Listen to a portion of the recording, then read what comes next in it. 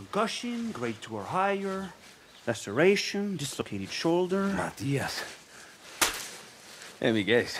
You're going to treat me to prove you're the better doctor. Where the fuck is El Doctor? The Viviro Processing Center, Building 13. What the fuck, Paolo? You think El Doctor could run the outcast camps without people like this piece of shit?